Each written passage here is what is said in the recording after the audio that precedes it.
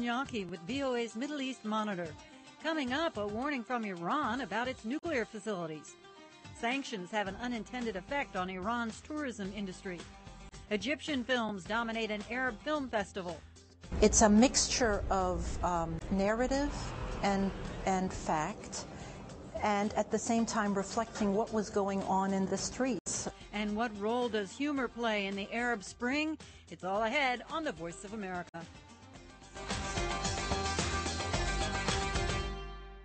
Iranian President Mahmoud Ahmadinejad has warned the United States and Israel against carrying out an attack on his country's nuclear facilities, suspected by the West of being part of an atomic weapons development program.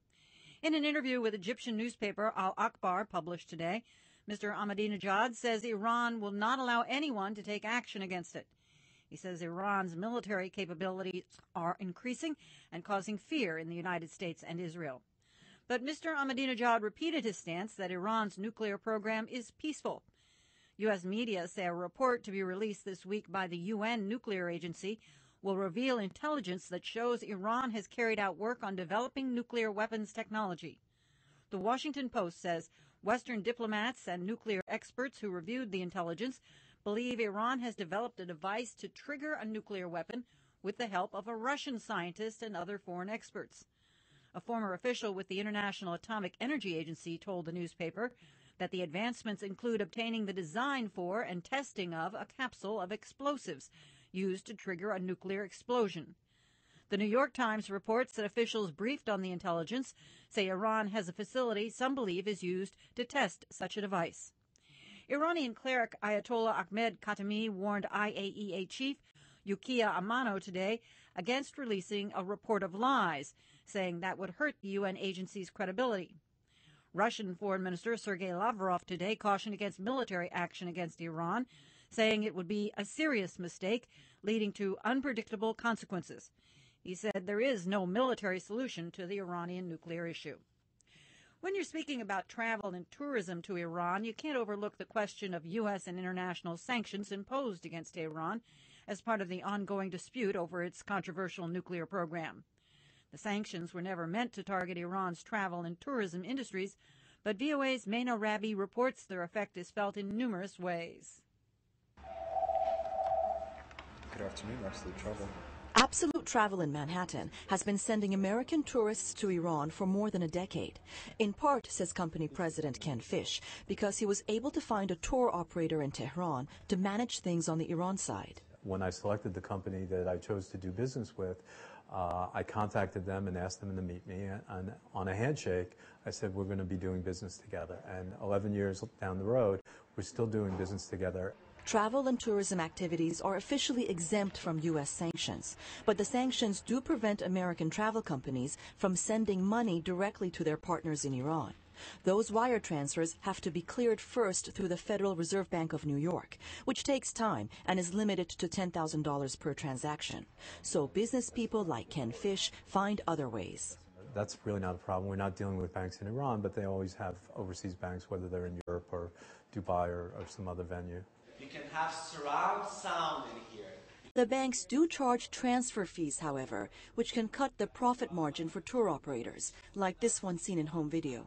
And the sanctions also influence the spending habits of tourists in Iran because of the lack of credit cards or debit card services. I would love to see more round. The sanctions have also led to a drawdown in Western investment.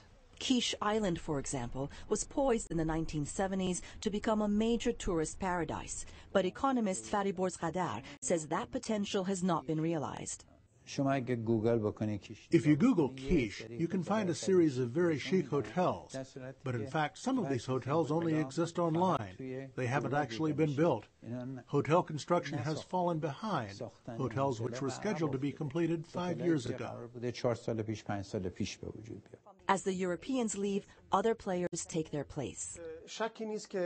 There's no doubt that the Chinese will, to some extent, invest in this. Sohrab Sobhani is a business consultant who recently co-authored an article on Iran's economy for the Harvard International Review. This is a natural thing. When Chinese and Asians see there is a market for them in Iran, there is no doubt that in addition to their investments in oil and gas, they will make an investment in tourism as well. But Fariborz Ghadar says that may not provide enough help for the tourist sector. مثلا شما توی توریست اگه نگاه بکنی آیا خود چین که میری When you go to China in Beijing and Shanghai, you see that their hotels are all Western brand. مریدین هستش هایت هستش The Meridian, the Hyatt, and others. مریدین و بیژینگ مریدین و هایت و فلان هستش If the firms doing business in China are Western, do you really want to import Chinese know-how into Iran? Despite sanctions and a loss of foreign investment, there are some positive indicators. Domestic investment in Iran's hospitality sector is said to have nearly doubled in five years, with about 500 small hotels being built across the country. Nearly 2% of the Iranian workforce is now in the tourism industry. Most of those jobs were created in just the past decade, and much of the future growth in tourism will come from Iran's private sector. Monarabi, VOA News, Washington. Are you looking for a comprehensive daily look at events reshaping the Middle East? Visit voanews.com forward slash ME. You'll find VOA's original reporting from the region, in depth analysis from our Washington team, VIP interviews, online polls, photo essays, and mini documentaries. Bookmark us or add us to your RSS reader. That's voanews.com forward slash ME. Team of U.S. based scientists says mounting man made air pollution over the Indian subcontinent is producing increasingly intense cyclones in the Arabian Sea. The National Science Foundation led study finds that the pollution creates atmospheric conditions that disrupt the strong wind patterns that normally would prevent major storms from forming. The researchers say powerful tropical cyclones that would have been rare or non existent only 30 years ago have been striking areas of the Indian subcontinent with greater frequency. The study, authors say, man made pollutants called aerosols build up in the atmosphere and then trap soot and greenhouse gases, which form dirty brown clouds. Scientists say their findings indicate the three kilometer thick layer of brown clouds above the Indian subcontinent is changing atmospheric conditions over the northern Arabian Sea, which is reducing the vertical wind shear traditionally responsible for keeping cyclones mild. The researchers say their findings demonstrate how air pollution from simple human actions, such as burning wood or driving a diesel engine car, can lead to significant changes in large atmospheric events, like highly destructive deadly cyclones. While human activity caused the problem, human activity also is the key to solving it. The scientists say, using technology they already exists, such as diesel filters and energy efficient cooking stoves, can quickly and drastically cut the amount of aerosols pumped into the Earth's atmosphere. The new study is published in the journal Nature. At a time when economists predict that South Asia's economy will grow, health experts point to hundreds of millions suffering from neglected infections, often as a result of poverty. In a series of new studies, researchers say many countries in the region bear a disproportionate burden of these diseases and have a need for new drugs and vaccines. Vidushi Sinha looks at the toll these diseases take on the poorest of the poor. Health experts say many tropical diseases that are mostly associated with sub Saharan Africa have long been a neglected burden in South Asia as well. New research shows about one and a half billion people in South Asia suffer from severe debilitating parasitic and bacterial infections. Peter Hotez is Dean of the U.S. National School of Tropical Medicine. He says poverty is the primary factor that makes people susceptible to these diseases. And because they are usually not fatal, he adds, there is no sense of urgency to combat them, and they have been easy for the world to ignore. Nobody's really dying from lymphatic filariasis or elephantiasis, and this is why it's been so hard to get these diseases to the attention of the global health policymakers. It's just tens of millions of people being disfigured, of being disabled, of being too sick to go to work every day. They do everything but kill, and that's a difficult message to sometimes convey. Hotez is the author of one of the recent studies. He says one quarter of the world's intestinal parasitic infections occur in India and the rest of South Asia. Filariasis, kala azar, and leprosy are also widespread. He says these are the most common diseases that strike the poorest of the poor. You might have heard of the term the bottom billion, the one billion people in the world who live on no money. Well, it turns out a large proportion of them live on, in South Asia, in India and South Asia, and these are the diseases that are trapping that bottom billion in poverty. Although some of these diseases can be treated with relatively simple immunization campaigns, treatments for others are expensive and complicated. These infections also have a tendency to recur. Amanda Glassman is the Director for Global Health at the Center for Global Development, a public policy research institute. She says the new studies should prompt governments to give diseases of the poor a higher priority. I hope that it galvanizes policymakers to pay more attention to those diseases when they're thinking about what should be funded with public monies and how those very inexpensive but effective treatments that exist can reach people in need. Experts urge Indian pharmaceutical companies to take the lead and focus not just on developing drugs for diabetes, heart disease, and cancer, but on innovative therapies for neglected tropical diseases as well. Vidushi Sinha, VOA News, Washington. The Israeli government says disruptions in the websites of the Israeli military, the Mossad intelligence agency, and the Shin Bet domestic security service were caused by a technical glitch not by a cyber attack. The websites crashed Sunday, days after a shady group of hackers calling themselves Anonymous posted a video on YouTube threatening to strike back at Israel for its interception of two Gaza bound ships. Israeli security forces boarded pro Palestinian ships in international waters Friday as they were trying to break Israel's blockade of Gaza. On board the ships were 27 activists from various countries, including the United States, Canada, and Ireland, they said their goal was to deliver medical aid directly to Palestinians in Gaza. Israeli Defense Forces said the boarding was carried out in line with directives from the government after attempts were made to prevent the vessels from reaching Gaza. There were no reports of injuries. Last year, nine Turkish activists were killed when Israeli commandos stormed a Turkey led aid flotilla headed for Gaza. The confrontation caused a deterioration in relations between Turkey and Israel.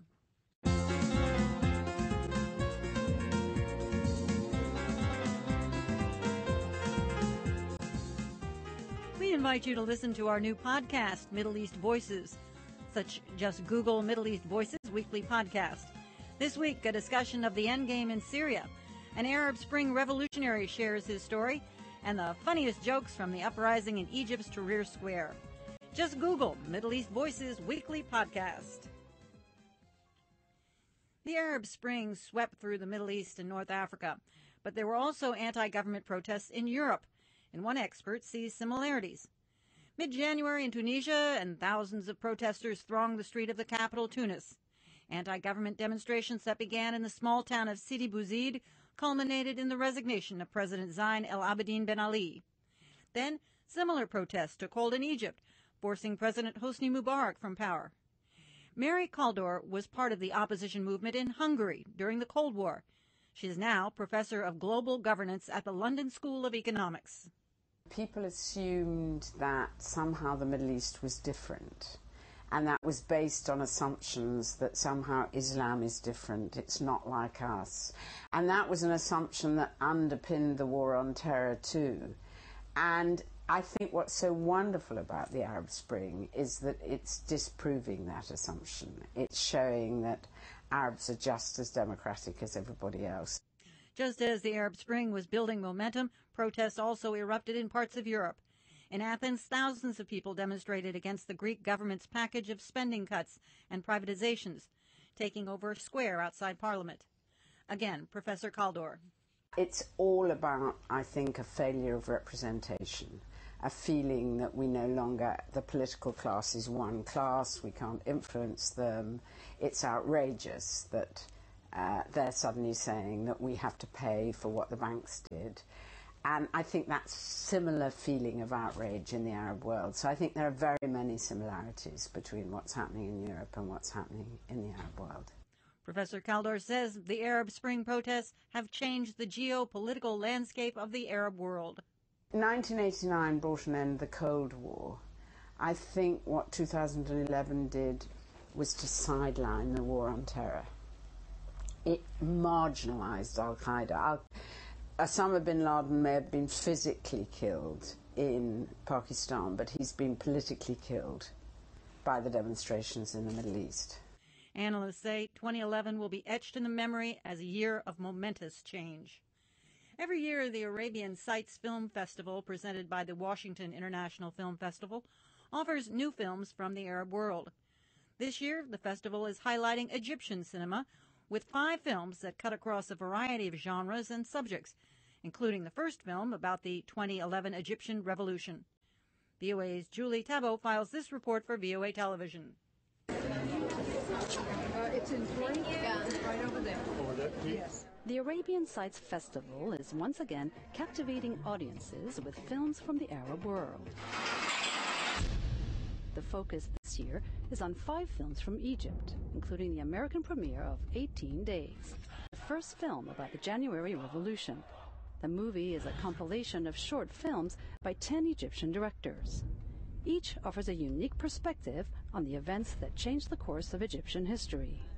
Shireen Gharib is the festival's director. We have really um, uh, 10 different stories that are all very different from one another that reflect the director's view of, of um, the Egyptian revolution. It's a mixture of um, narrative and, and fact and at the same time reflecting what was going on in the streets on those very days.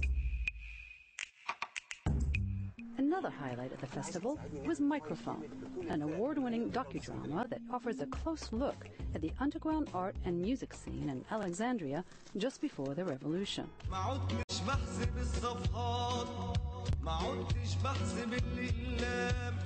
Rock, hip hop, and fusion are just a few of the music genres portrayed in the film.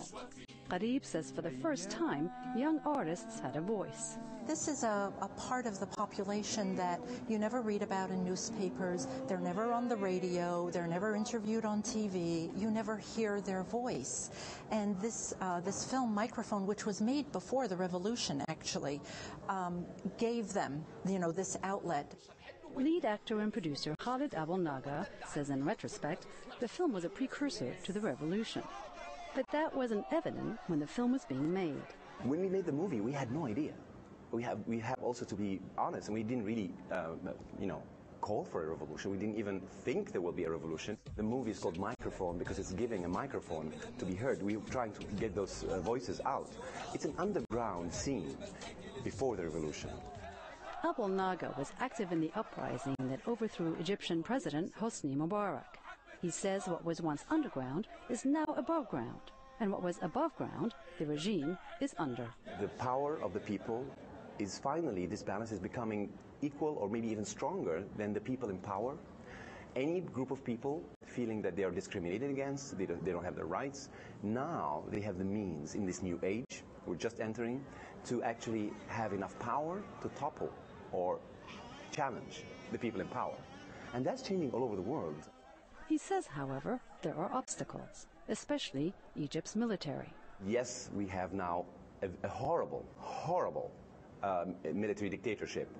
In the past, this actually two days ago, they actually detained bloggers because you can't imagine the, the, the, the audacity of, of, of the crime.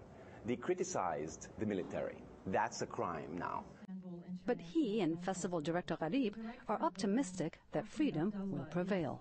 The revolution has created a sense of freedom, and this freedom is going to be illustrated in the creativity that's going to come out in the films, and I think the impact is going to be huge.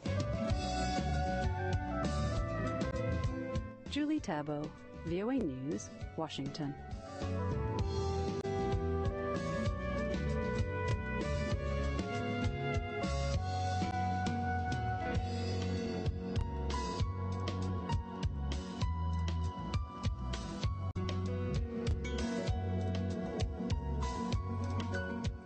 The Middle East has seen many changes with the coming of the Arab Spring, but one thing remains the same, and that's humor.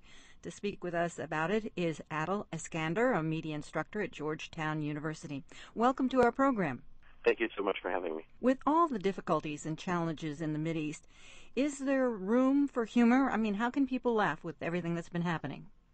Well, I think uh, people laugh irrespective of what is happening. I think, um, you know, to a large extent, humor has been uh, a real coping mechanism for publics that have lived under authoritarian, tyrannical regimes for so long. Um, if you can't really oppose them, if you can't take to the streets against them, you can at least ridicule them. So satire and parody is a large part of uh, being able to level uh, some criticism of your leaders, and this is something that we've seen across the region. I mean, um, Mubarak for the past 20, 30 years had been d- described as the laughing cow, uh, like the lavash kiri, the uh, uh, the triangle um, cheese. Um, so they would have pictures of him superimposed onto the cow's face, uh, and people would refer to him as such. And uh, and so this was one way to sort of come to grips with the persona of someone who is uh, extremely sort of dictatorial, but yet never, nevertheless uh, someone who is worthy of, of ridicule. But uh, the business of comedy can be dangerous in the Middle East. Well, absolutely. I mean, uh, regimes dealt with humor very differently. Um, so the uh, the Syrian government uh, did not, did, you know, uh, would crack down on anybody who cracked jokes against uh, the against the government, the Ba'ath Party, uh, al-Assad, as well as Bashar al-Assad, the current president. Um, and uh, you know, to a large extent, uh, some countries have realized that uh, perhaps you need to open up that faucet ever so slightly and let some steam out. So uh, some of them permitted humor. So uh, reactions to humor differ quite significantly. Uh, one example of that is the, um, the Axis of Evil comedy tour, um, where you know stand-up comedians from the U.S. and elsewhere, most of whom are of Arab uh, descent and background, uh, traveled around the Arab world to varying degrees of of reaction from government. So in some instances, they're told can't talk about uh, sex, drug, drugs, um, politics, and uh, in some cases they they weren't permitted to go into certain Gulf countries. Um, and in other instances, it's it's quite acceptable because it's perceived as um, you know completely harmless. That this is just all fun and games. There's nothing to fear, um, and uh, just young people having a good time. Does it help the Arab Spring go forward? Absolutely. Um, it's it's important because I think humor has an incredible way of recasting the relationship between the antagonist and the protagonist. Um, take, for instance, what's happening in Egypt now. You've got uh, the Egyptian sort of revolution stalling to a large extent because uh, the Supreme Council for the Armed Forces has um, failed to deliver some of the demands of, of the protesters and the revolutionaries. Um, and just so happens that yesterday, during the Eid, uh, the sort of the, um, uh, the one of the holiest uh, periods in Islam, Eid holiday, uh, the field marshal uh, Hussein Tantawi, who is the current leader of the Supreme Council for the Armed Forces, went to pray at a, at a mosque, and when he came out, his shoes were missing. Somebody had apparently stolen his shoes. And the amount of humor that has grown out of that is so remarkable. It's unbelievable. I mean, there are uh, people taking pictures of themselves holding shoes hostage, saying, you know, if you don't hand in the government, we won't hand in the shoe. Um, things things of that of that kind have become so incredibly prevalent, but they really underlie a very interesting subversive message, which is to say that uh, even though we can't really criticize you publicly, we're going to use humor to undermine your position. The fact that you know that you are uh, at the at the helm here, that you're running the country. So there is sort of a subversive, critical, dissident component to it, uh, but it poses as just you know laughter and, and, and fun. Well, thank you very much for joining us. Thank you so much for having me. That was Adel Iskandar, a media instructor at Georgetown University here in Washington. This has been VOA's Middle East Monitor. Join us Monday through Friday for news from the region and of interest to the region. Thanks for tuning in to the Voice of America.